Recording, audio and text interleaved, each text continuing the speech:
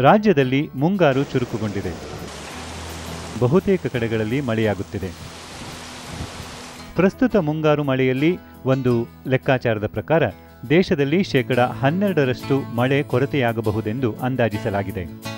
ಆದರೆ ರಾಜ್ಯದಲ್ಲಿ ಈ ಬಾರಿ ಉತ್ತಮ ಮಳೆ ನಿರೀಕ್ಷಿಸಬಹುದಾಗಿದ್ದರೂ ಕೆಲವು ಭಾಗಗಳಲ್ಲಿ ಮಳೆ ಸ್ವಲ್ಪ ಮಟ್ಟಿಗೆ ಕುಂಠಿತವಾಗಬಹುದು. ಆದರೂ ರೈತರು ಯಾವುದೇ ಆತಂಕಕ್ಕೆ ಒಳಗಾಗುವ ಅವಶ್ಯಕತೆ ಇಲ್ಲ ಎನ್ನುತ್ತಾರೆ ಬೆಂಗಳೂರು ಕೃಷಿ ವಿಶ್ವವಿದ್ಯಾಲಯದ ತಜ್ಞರು. ನಮ್ಮ ಭಾರತ ದೇಶದಲ್ಲಿ ಈ ಮುಂಗಾರು ಮಳೆಯ ಬರುವಂಥ ಪ್ರಮಾಣವನ್ನು ಮುನ್ಸೂಚನಾ ಒಂದು ಮಾಹಿತಿಯಾಗಿ ಕೊಡುವಂಥ ಒಂದು ಪದ್ಧತಿ ಇದೆ. ಹಾಗಾಗಿ ಈ ಎರಡು ಸಾವಿರದ ಹದಿನೈದನೇ ಇಸ್ವಿಯಲ್ಲೂ ಕೂಡ ನಮ್ಮ ಈ ಭಾರತದ ಒಟ್ಟಾರೆ ಪ್ರದೇಶದಲ್ಲಿ ಶೇಕಡ ಹನ್ನೆರಡರಷ್ಟು ಕುಂಠಿತ ಆಗುವಂಥ ಪರಿಸ್ಥಿತಿ ಇದೆ ಅಂತ ಒಂದು ಮುನ್ಸೂಚನೆ ಇದೆ. ಆಗ ಆ ಈ ಕುಂಠಿತವಾಗುವ ಪ್ರಮಾಣ ದೇಶದಲ್ಲಿ ಶೇಕಡ ಹನ್ನೆರಡರಷ್ಟು ಇದ್ದರೂ ಕೂಡ ಇದು ಎಲ್ಲ ರಾಜ್ಯದಲ್ಲೂ ಒಂದೇ ಪರಿಸ್ಥಿತಿ ಇರುವುದಿಲ್ಲ. ಹಾಗಾಗಿ ನಮ್ಮ ಕರ್ನಾಟಕ ರಾಜ್ಯದಲ್ಲಿ ಈ ಶೇಕಡ ಹನ್ನೆರಡರಷ್ಟು ಕುಂಠಿತ ಆಗಬ, ಆಗುವುದಿಲ್ಲ ಅಂತ ಒಂದು ಮುನ್ಸೂಚನೆ ಕಂಡು ಬಂದಿದೆ. ನಾವು ಕೃಷಿ ವಿಶ್ವವಿದ್ಯಾನಿಲಯದಲ್ಲಿ ನಾವೇ ಒಂದು ವೃದ್ಧಿ ಮಾಡಿಸಿರ್ತಕ್ಕಂಥ ಒಂದು ಮುನ್ಸೂಚನಾ ವರದಿಯ ಪ್ರಕಾರ ನಮ್ಮ ಈ ರಾಜ್ಯದಲ್ಲಿ ಈ ವರ್ಷ ಶೇಕಡ ಸರಾಸರಿ ಏಳರಷ್ಟು ಕುಂಠಿತ ಆಗುವಂಥ ಒಂದು ಪರಿಸ್ಥಿತಿ ಇದೆ. ಅಂದರೆ ಇದು ಏಳರಷ್ಟು ಕುಂಠಿತ ರಾಜ್ಯದ ಎಲ್ಲ ಜಿಲ್ಲೆಗಳಲ್ಲೂ ಒಂದೇ ರೀತಿ ಇರುವುದಿಲ್ಲ. ಬೇರೆ ಬೇರೆ ಜಿಲ್ಲೆಗಳಲ್ಲಿ ಅಥವಾ ಬೇರೆ ಬೇರೆ ಹವಾಮಾನ ವಲಯಗಳಲ್ಲಿ ಇದು ಬೇರೆ ಬೇರೆ ಇರುತ್ತೆ. ನಮ್ಮ ದಕ್ಷಿಣ ಒಳನಾಡಿನಲ್ಲಿ ಇದು ಶೇಕಡ ಆರರಷ್ಟು ಕುಂಠಿತ ಆಗುತ್ತೆ. ಉತ್ತರ ಒಳನಾಡಿನಲ್ಲಿ ಇದು ಶೇಕಡ ಎಂಟರಷ್ಟು ಕುಂಠಿತ ಆಗುತ್ತೆ. ಮತ್ತು ಕರಾವಳಿ ಹಾಗೂ ಘಟ್ಟ ಪ್ರದೇಶದಲ್ಲಿ ಇದು ಸುಮಾರು ಶೇಕಡ ಏಳರಷ್ಟು ಕುಂಠಿತ ಆಗುವಂಥ ಪರಿಸ್ಥಿತಿ ಇದೆ.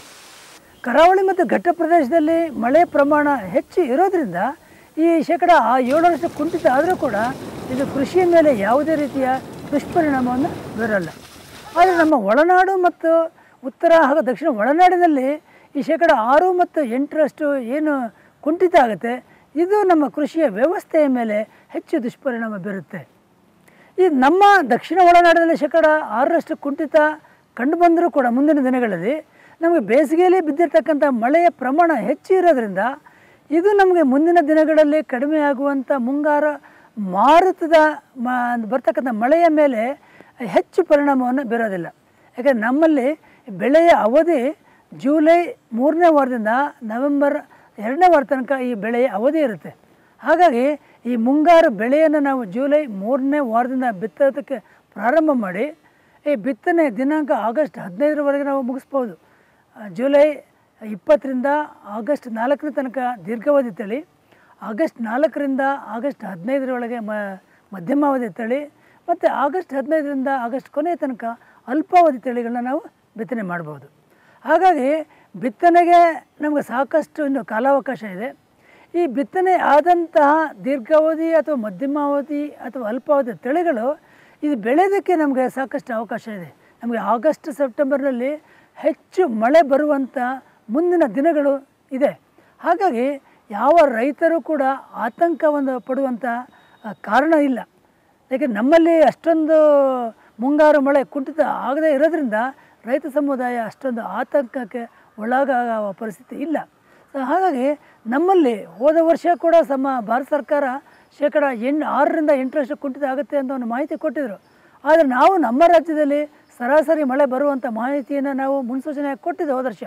ಆದರೆ ನಮಗೆ ಹೋದ ವರ್ಷ ಶೇಕಡ ನಾಲ್ಕರಷ್ಟು ಮುಂಗಾರು ಮಳೆ ಹೆಚ್ಚು ಬಂದಿದೆ. ಸೊ, ಇವೆಲ್ಲವನ್ನು ನಾವು ಗಮನದಲ್ಲಿಟ್ಕೊಂಡು ನೋಡಿದಾಗ ರಾಷ್ಟ್ರೀಯ ಮುನ್ಸೂಚನೆ ನಮ್ಮ ರಾಜ್ಯಕ್ಕೆ ಹೆಚ್ಚು ಹೋಲಿಕೆ ಆಗದೇ ಇದ್ದರೂ ಕೂಡ ಈ ವರ್ಷ ನಮಗೆಲ್ಲ ಹನ್ನೆರಡು ಪರ್ಸೆಂಟ್ ಕುಂಠಿತ ಆಗಲ್ಲ. ಬದಲಾಗಿ ಕುಂಠಿತ ಪ್ರಮಾಣ ತುಂಬ ಕಡಿಮೆ ಆಗುವಂಥ ಪರಿಸ್ಥಿತಿ ಇದೆ. ಹಾಗಾಗಿ ನಮ್ಮ ರೈತ ಕುಟುಂಬ ಯಾವುದೇ ರೀತಿ ಆತಂಕಕ್ಕೆ ಒಳಗಾಗಬೇಕಾಗಿಲ್ಲ. ನಮಗೆ ಮುಂದಿನ ದಿನಗಳಲ್ಲಿ ಸಾಕಷ್ಟು ಒಳ್ಳೆಯ ಮಳೆ ಬಂದು ನಮ್ಮ ಬಿತ್ತನೆ ಕಾರ್ಯಕ್ರಮಕ್ಕೆ ಕಾರ್ಯಕ್ರಮಕ್ಕೆ ಅನುಕೂಲ ಆಗುತ್ತೆ ಅನ್ನೋ ಮಾಹಿತಿಯನ್ನು ನಾವು ನಮ್ಮ ವಿಶ್ವವಿದ್ಯಾಲಯಗಳ ಮೂಲಕ ರೈತ ಸಮುದಾಯಕ್ಕೆ ನೀಡೋದಕ್ಕೆ ಇಷ್ಟಪಡ್ತೀವಿ.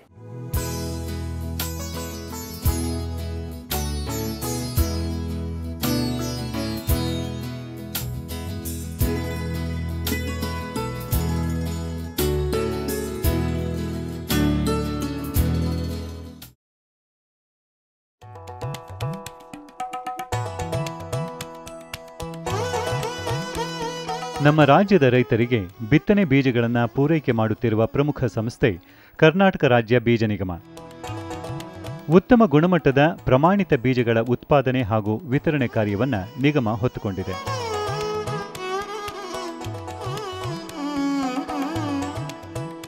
ಪ್ರಮುಖವಾಗಿ ಕೃಷಿ ಬೆಳೆಗಳಾದ ಭತ್ತ, ರಾಗಿ, ಹೆಸರುಕಾಳು, ತೊಗರಿ, ಉದ್ದು, ಹಲಸಂದೆ ಹಾಗೂ ಸೂರ್ಯಕಾಂತಿ ಬೀಜಗಳು, ಸೋಯಾಬೀನ್ ಮತ್ತು ನೆಲಗಡಲೆ ಬೀಜಗಳನ್ನು ಕೂಡ ಉತ್ಪಾದನೆ ಮಾಡಿ ರೈತರಿಗೆ ಸಕಾಲದಲ್ಲಿ ಸುಲಭವಾದ ದರದಲ್ಲಿ ಎಟಕುವಂತೆ ವ್ಯವಸ್ಥೆ ಮಾಡಿದೆ. ರೈತರು ತಮಗೆ ಬೇಕಾದಂಥ ಬಿತ್ತನೆ ಬೀಜಗಳನ್ನು ಕರ್ನಾಟಕ ರಾಜ್ಯದ ಎಲ್ಲ ಹೋಬಳಿ ಕೇಂದ್ರಗಳಲ್ಲಿರುವ ರೈತ ಸಂಪರ್ಕ ಕೇಂದ್ರಗಳಿಂದ ರಿಯಾಯಿತಿ ದರದಲ್ಲಿ ಪಡೆದುಕೊಳ್ಳಬಹುದಾಗಿದೆ. ಈ ಮುಂಗಾರು ಹಂಗಾಮಿಗೆ ನಮ್ಮ ನಿಗಮದ ವತಿಯಿಂದ ಸುಮಾರು ಮೂರು ಲಕ್ಷ ಇಪ್ಪತ್ತು ಸಾವಿರ ಕುಂಟಾಲು ವಿವಿಧ ಬೆಳೆಬಾರ ತಳಿಗಳನ್ನು ನಾವು ಉತ್ಪಾದನೆ ಮಾಡಿದ್ದೀವಿ. ಮತ್ತು ಮಾರಾಟಕ್ಕೆ ಕೃಷಿ ಇಲಾಖೆಗೆ ಒದಗಿಸ್ತಾ ಇದ್ದೀವಿ. ರಾಜ್ಯದ ಎಲ್ಲ ಹೋಬಳಿಗಳಲ್ಲಿರುವ ರೈತ ಸಂಪರ್ಕ ಕೇಂದ್ರಗಳ ಮೂಲಕ ಬಿತ್ತನೆ ಬೀಜಗಳನ್ನು ರೈತರಿಗೆ ಸಕಾಲದಲ್ಲಿ ನಿಗಮ ಸರಬರಾಜು ಮಾಡುತ್ತಿದೆ. ಪ್ರಸ್ತುತ ಮುಂಗಾರಿಗೆ ರಾಜ್ಯದಲ್ಲಿ ಸುಮಾರು ಮೂರು ಪಾಯಿಂಟ್ ಎರಡು ಲಕ್ಷ ಕ್ವಿಂಟಾಲ್ನಷ್ಟು ಬಿತ್ತನೆ ಬೀಜಗಳ ಅಗತ್ಯವಿದ್ದು, ನಿಗಮ ರಿಯಾಯಿತಿ ದರದಲ್ಲಿ ರೈತರಿಗೆ ಸಕಾಲದಲ್ಲಿ ಒದಗಿಸಲು ಸಮರ್ಪಕ ವ್ಯವಸ್ಥೆಯನ್ನು ಮಾಡಿಕೊಂಡಿದೆ. ಭತ್ತ ಸುಮಾರು ಒಂದು ಲಕ್ಷ ಅರವತ್ತು ಸಾವಿರ ಕ್ವಿಂಟಾಲ್ಗಳಷ್ಟಿದೆ. ರಾಗಿ ಇಪ್ಪತ್ತೈದು ಸಾವಿರ ಕ್ವಿಂಟಾಲ್ಗಳಷ್ಟು ಇದೆ. ತೊಗರಿ ಸುಮಾರು ಎಂಟು ಸಾವಿರ ಕ್ವಿಂಟಾಲು. ಹೆಸರು ಬೀಜ ಎರಡು ಸಾವಿರದ ನಾನ್ನೂರು ಕ್ವಿಂಟಾಲು. ಉದ್ದು ಸುಮಾರು ನೂರು ಕ್ವಿಂಟಾಲ್ ಉದ್ದಿಗೆ ಇತ್ತೀಚೆಗೆ ಬೇಡಿಕೆ ಕಡಿಮೆ ಆಗಿರೋದ್ರಿಂದ ಇದರ ಉತ್ಪಾದನೆ ಪ್ರಮಾಣ ಕೂಡ ಕಡಿಮೆ ಇದೆ. ಉದ್ದು ಸುಮಾರು ನೂರು ಕ್ವಿಂಟಾಲು. ಮತ್ತು ಹಲಸಂದೆ ಎರಡು ಸಾವಿರದ ಇನ್ನೂರು ಕ್ವಿಂಟಾಲು. ಶೇಂಗಾ ಮೂವತ್ತು ಸಾವಿರ ಕ್ವಿಂಟಾಲು. ಸೋಯಾಬೀನ್ ಅರವತ್ತು ಸಾವಿರ ಕ್ವಿಂಟಾಲು. ಸೂರ್ಯಕಾಂತಿ ಐನೂರು ಕ್ವಿಂಟಾಲ್. ಬಿತ್ತನೆ ಬೀಜಗಳನ್ನು ನಾವು ಪೂರೈಕೆ ಮಾಡೋದಕ್ಕೆ ಕೃಷಿ ಇಲಾಖೆಗೆ ಆಗಲೇ ನಾವು ಒಪ್ಕೊಂಡಿದ್ದೀವಿ. ಅದರ ಪ್ರಕಾರ ಈಗಾಗಲೇ ತೊಂಬತ್ತು ಸಾವಿರ ಕ್ವಿಂಟಾಲ್ಗಳಷ್ಟು ಬಿತ್ತನೆ ಬೀಜಗಳನ್ನು ನಮ್ಮ ರಾಜ್ಯದ ವಿವಿಧ ಕೇಂದ್ರಗಳಿಂದ ಎಲ್ಲ ರೈತ ಸಂಪರ್ಕಗಳಿಗೆ ಪೂರೈಕೆ ಮಾಡಿದ್ದೀವಿ ಮತ್ತು ದಾಸ್ತಾನು ಮಾಡಿ ಮಾರಾಟ ವಿತರಣೆ ಕೂಡ ನಡೀತಾ ಇದೆ. ನವಣೆ ಒಂದು ಪ್ರಮುಖವಾದ ಕಿರುಧಾನ್ಯದ ಬೆಳೆ. ಇದರ ಬಿತ್ತನೆ ಬೀಜಗಳು ಕೂಡ ನಿಗಮದಲ್ಲಿ ಲಭ್ಯ. ನಮ್ಮಲ್ಲಿ ನವಣೆಗೆ ಸಂಬಂಧಿಸಿದಂತೆ ಎರಡು ತಳಿಯಗಳನ್ನು ನಾವು ಉತ್ಪಾದನೆ ಮಾಡ್ತಾ ಇದ್ವಿ ಅದರಲ್ಲಿ ಬಿ ಎಸ್ ಫೋರ್ ಅಂತ ಒಂದು ತಳಿ ಇದೆ. H M T hundred dash ಅಂತ ಇನ್ನೊಂದು ತಳಿ ಇದೆ. ಇದು ನಮ್ಮ ನಿಗಮದಲ್ಲಿ ಮಾರಾಟಕ್ಕೆ ದೊರೀತಾ ಇದೆ. ಅದರ ದರ ಮೂವತ್ತೇಳು ರೂಪಾಯಿ ಐವತ್ತು ಪೈಸಾ ಒಂದು ಕೆ ಜಿಗಿದೆ ಸಾಮಾನ್ಯವಾಗಿ ಇದು ನಾಲ್ಕು ಕೆ ಜಿ ಪಟ್ಟಣದಲ್ಲಿ ಬರುತ್ತೆ. ನೂರೈವತ್ತು ರೂಪಾಯಿ ದರದಲ್ಲಿ ರೈತರಿಗೆ ವಿತರಣೆ ಮಾಡ್ತಾ ಇವೆ ರಾಜ್ಯದ ಎಲ್ಲ ಕೃಷಿ ವಿಶ್ವವಿದ್ಯಾನಿಲಯಗಳು ವಿವಿಧ ಬೆಳೆಗಳ ಬೀಜೋತ್ಪಾದನೆಯಲ್ಲಿ ತಮ್ಮನ್ನು ತೊಡಗಿಸಿಕೊಂಡಿವೆ. ರೈತರು ಕೂಡ ಗುಣಮಟ್ಟದ ಬೀಜೋತ್ಪಾದನೆಯಲ್ಲಿ ತೊಡಗಿಸಿಕೊಳ್ಳಲು ಪ್ರೋತ್ಸಾಹ ನೀಡಲಾಗುತ್ತಿದೆ. ಅಲ್ಲದೆ ನಿಗಮವೇ ಆ ಬೀಜಗಳನ್ನು ಕೊಂಡುಕೊಳ್ಳುತ್ತಿದೆ. ಸಾಮಾನ್ಯವಾಗಿ ಬಿತ್ತನೆ ಬೀಜಗಳ ಉತ್ಪಾದನೆಗೆ ನಾವು ಉತ್ಪಾದನೆಯನ್ನು ನಮ್ಮ ಬೀಜೋತ್ಪಾದಕ ಷೇರುದಾರರ ಮುಖಾಂತರ ಬಿತ್ತ, ವಿತರಣೆಯನ್ನು, ಉತ್ಪಾದನೆಯನ್ನು ನಾವು ಕೈಗೊಳ್ತಾ ಇದ್ದೀವಿ. ಆ ರೈತರಿಗೆ ನಾವು ನಮ್ಮ ವತಿಯಿಂದ, ನಮ್ಮ ನಿಗಮದ ವತಿಯಿಂದ ಮೂಲ ಬೀಜಗಳನ್ನು ನಾವು ಪೂರೈಕೆ ಮಾಡ್ತೀವಿ. ಮೂಲ ಬೀಜಗಳಂದರೆ ಸಾಮಾನ್ಯವಾಗಿ ಅದರ ಮೇಲೆ ಒಂದು ಬಿಳಿ ಬಣ್ಣದ ಒಂದು ಚೀಟಿಯನ್ನು ಅಂಟಿಸಿರ್ತೀವಿ. ಇದರಲ್ಲಿ ಆ ಉತ್ಪಾದನೆಯಾದ ವರ್ಷ ಇದೆ. ಮತ್ತು ಅದು ಯಾವ, ಯಾವತ್ತೊಂದು ದಿನ ಅದು ಟೆಸ್ಟಿಂಗ್ ಆಗಿರುತ್ತೆ, ಅದರ ವ್ಯಾಲಿಡಿಟಿ ಎಲ್ಲಿವರೆಗಿದೆ, ಅವಧಿ ಎಲ್ಲಿವರೆಗಿದೆ ಅನ್ನೋದನ್ನು ಕೂಡ ಅದರಲ್ಲಿ ಮುದ್ರಣ ಆಗಿರುತ್ತೆ. ಮತ್ತು ಯಾವ ಪ್ರೋಸೆಸಿಂಗ್ ಯೂನಿಟಲ್ಲಿ ಅದು ಪ್ಯಾಕಿಂಗ್ ಆಗಿದೆ ಅನ್ನೋ ಮಾಹಿತಿ ಕೂಡ ಅದರಲ್ಲಿ ದೊರೆ, ದೊರೆಯುತ್ತೆ. ಅದೇ ರೀತಿ ಪ್ರಮಾಣಿತ ಬೀಜಗಳಿಗೆ ಸಾಮಾನ್ಯವಾಗಿ ನೀಲಿ ಬಣ್ಣದ ಚೀಟಿಗಳನ್ನು ನಡೆಸಲಾಗುತ್ತದೆ. ನೀಲಿ ಬಣ್ಣದ ಚೀಟದಿಂದ ಸರ್ಟಿಫಿಕೇಷನ್ ಆಗಿದೆ ಅನ್ನೋದು ಒಂದು ಖಾತ್ರಿ ಆಗುತ್ತೆ ಅದರಲ್ಲೂ ಕೂಡ ಈ ಎಲ್ಲ ಮಾಹಿತಿಗಳು ಲಭ್ಯ ಆಗಿರುತ್ತೆ. ಸಾಮಾನ್ಯವಾಗಿ ನಮ್ಮ ಪೂರೈಕೆ ವ್ಯವಸ್ಥೆ ಹೇಗಿದೆ ಅಂತಂದರೆ ಪ್ರತಿ ವರ್ಷ ಕೃಷಿ ಇಲಾಖೆ ತಮಗೆ ಬೇಕಾಗಿರುವ ಬಿತ್ತನೆ ಬೀಜಗಳ ಅಗತ್ಯತೆಗೆ ಒಂದು ಟೆಂಡರ್ ಕರೆದು ಅದರಲ್ಲಿ ಯಾವ್ಯಾವ ಸಂಸ್ಥೆಗಳು ಬೀಜಗಳನ್ನು ಪೂರೈಕೆ ಮಾಡುತ್ತೆ, ಎಷ್ಟೆಷ್ಟು ಪ್ರಮಾಣದಲ್ಲಿ ಪೂರೈಕೆ ಮಾಡುತ್ತೆ ಅನ್ನೋದನ್ನು ನಿಗದಿಪಡಿಸುತ್ತೆ.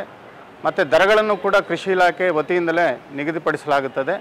ಆ ರೀತಿ ನಿಗದಿಪಡಿಸಿದ ದರಗಳಿಗೆ ಪ್ರತಿಯೊಂದು ಬೆಳೆ ಬಾರ್ ತಳಿಗಳಿಗೆ ಎಷ್ಟು ರಿಯಾಯಿತಿ ಕೊಡಬೇಕು ಅನ್ನೋದನ್ನು ಕೂಡ ಕೃಷಿ ಇಲಾಖೆಯಿಂದ ನಿಗದಿಪಡಿಸಲಾಗುತ್ತದೆ.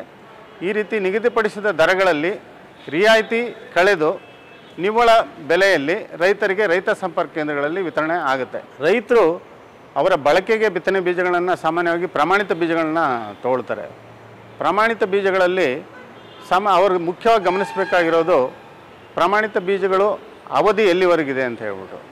ಈಗ ಅದು ಸಾಮಾನ್ಯ ಪ್ರಮಾಣಿತ ಬೀಜಗಳು ಪ್ರಮಾಣೀಕರಣ ಆದ ದಿನದಿಂದ ಒಂಬತ್ತು ತಿಂಗಳ ಅವಧಿಗೆ ಅದು ಅವಧಿನ ನೀಡಲಾಗಿರುತ್ತದೆ. ಆ ಅವಧಿನಲ್ಲಿ ಅದರ ಗುಣಮಟ್ಟ, ಬೀಜ ಅದರ ಮೊಳಕೆಯ ಪ್ರಮಾಣ ಮತ್ತು ಇತರೆ ಗುಣಗಳಿಗೆ ಅದು ಪ್ರಮಾಣೀಕರಣ ಆಗಿರುತ್ತೆ. ಆ ಅವಧಿ ಒಳಗಡೆ ರೈತರು ಅದನ್ನು ಗಮನಿಸಿ ಉಪಯೋಗಿಸಬೇಕು. ಅವಧಿ ಮೀರಿದ ಬಿತ್ತನೆ ಬೀಜಗಳಲ್ಲಿ ಸಾಮಾನ್ಯವಾಗಿ ಇತರೆ ಪ್ರಾಮುಗಳು, ಪ್ರ, ಏನೋ ಮೊಳಕೆಯಲ್ಲಿ ವಿಫಲ ಆಗೋದು ಅಥವಾ ಇನ್ನಿತರ ಸಮಸ್ಯೆಗಳು ಬರೋ ಅವಕಾಶ ಇರುತ್ತೆ. ಅದರಿಂದ ರೈತರು ಇದನ್ನು ಗಮನಿಸಿ ಅದನ್ನು ತಗೋಬೇಕು ಅಂತ ನಾವು ಕೇಳ್ಕೊಳ್ತೀವಿ.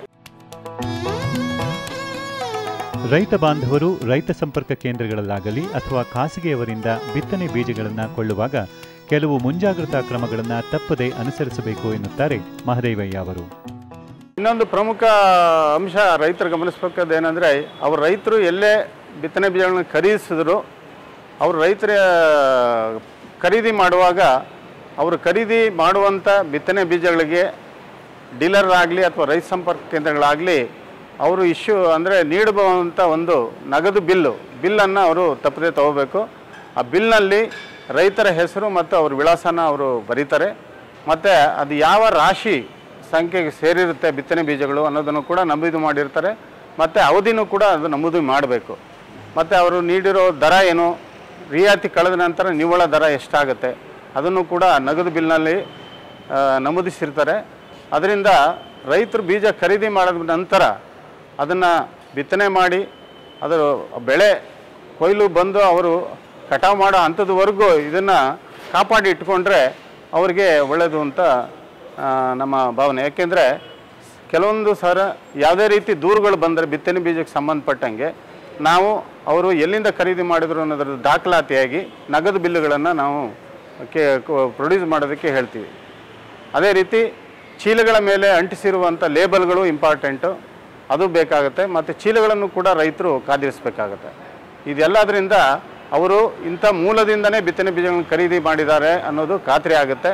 ಅದರಿಂದ ಯಾವುದೇ ರೀತಿಯ ಒಂದು ಪರಿಹಾರ ನೀಡೋದಕ್ಕಾಗಲಿ ಈ ದಾಖಲಾತಿಗಳು ಅವಶ್ಯಕತೆ ಇರುತ್ತೆ. ರೈತರು ಇದನ್ನು ಜೋಪಾನವಾಗಿ ಕಾದಿರಿಸ್ಕೋಬೇಕು ಅಂತ ನಾನು ಹೇಳಿ ನಮ್ಮ ರಾಜ್ಯದ ರೈತರಿಗೆ ಮನವಿ ಮಾಡಿಕೊಳ್ಳೋದೇನೆಂದರೆ ಕರ್ನಾಟಕ ರಾಜ್ಯ ಬೀಜ ನಿಗಮದ ವತಿಯಿಂದ ಅವರಿಗೆ ಮುಂಗಾರು ಹಂಗಾಮಿಗೆ ಬೇಕಾದಂಥ ಎಲ್ಲ ತಳಿಯ ಬಿತ್ತನೆ ಬೀಜಗಳನ್ನು ನಾವು ಉತ್ಪಾದನೆ ಮಾಡಿ ಈಗಾಗಲೇ ರೈತ ಸಂಪರ್ಕ ಕೇಂದ್ರಗಳಿಗೆ ಪೂರೈಕೆ ಮಾಡ್ತಾ ಇದ್ದೀವಿ.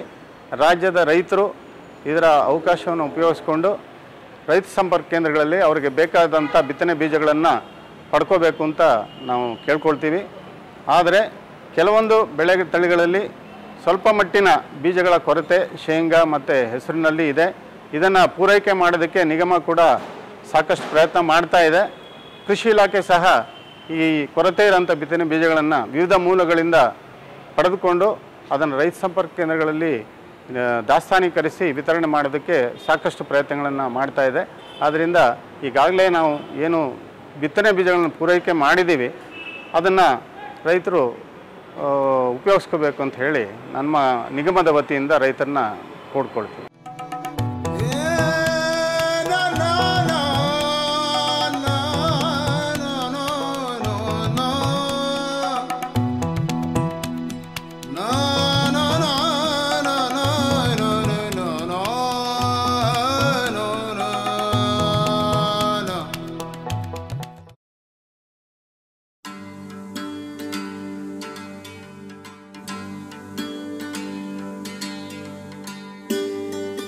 ಪ್ರಸ್ತುತ ಮುಂಗಾರು ಹಂಗಾಮಿನಲ್ಲಿ ರಾಜ್ಯದ ರೈತ ಬಾಂಧವರಿಗೆ ರಿಯಾಯಿತಿ ದರದಲ್ಲಿ ಬಿತ್ತನೆ ಬೀಜಗಳನ್ನು ವಿತರಣೆ ಮಾಡಲು ಕೃಷಿ ಇಲಾಖೆ ಸಕಲ ಸಿದ್ಧತೆ ಮಾಡಿಕೊಂಡಿದೆ.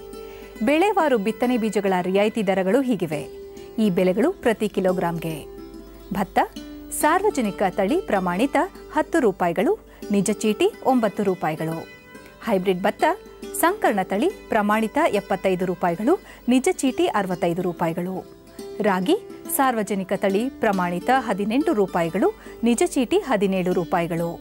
ಜೋಳ, ಸಂಕರ್ಣ ತಳಿ ಪ್ರಮಾಣಿತ ಮೂವತ್ತು ರೂಪಾಯಿಗಳು, ನಿಜ ಚೀಟಿ ಇಪ್ಪತ್ತೊಂಬತ್ತು ರೂಪಾಯಿಗಳು. ತೊಗರಿ, ಸಾರ್ವಜನಿಕ ತಳಿ ಪ್ರಮಾಣಿತ ಇಪ್ಪತ್ತೈದು ರೂಪಾಯಿಗಳು, ನಿಜ ಚೀಟಿ ಇಪ್ಪತ್ನಾಲ್ಕು ರೂಪಾಯಿಗಳು. ಉದ್ದು, ಸಾರ್ವಜನಿಕ ತಳಿ ಪ್ರಮಾಣಿತ ಇಪ್ಪತ್ತೈದು ರೂಪಾಯಿಗಳು, ನಿಜ ಚೀಟಿ ಇಪ್ಪತ್ನಾಲ್ಕು ರೂಪಾಯಿಗಳು. ಹೆಸರು ಸಾರ್ವಜನಿಕ ತಳಿ ಪ್ರಮಾಣಿತ ಇಪ್ಪತ್ತೈದು ರೂಪಾಯಿಗಳು, ನಿಜ ಚೀಟಿ ಇಪ್ಪತ್ನಾಲ್ಕು ರೂಪಾಯಿಗಳು. ಅಲಸಂದೆ ಸಾರ್ವಜನಿಕ ತಳಿ ಪ್ರಮಾಣಿತ ಇಪ್ಪತ್ತೈದು ರೂಪಾಯಿಗಳು, ನಿಜ ಚೀಟಿ ಇಪ್ಪತ್ನಾಲ್ಕು ರೂಪಾಯಿಗಳು.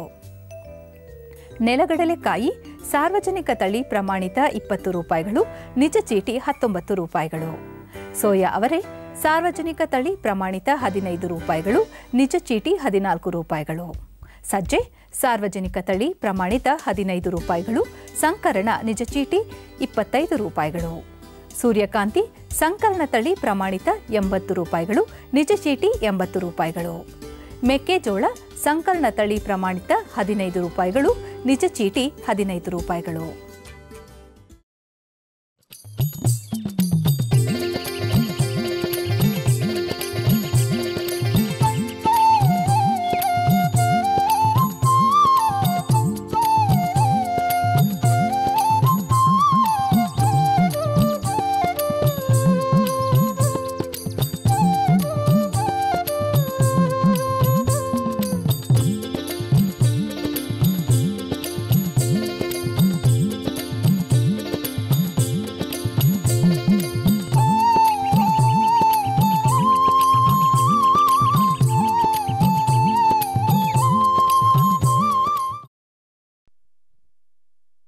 ಸರಿ.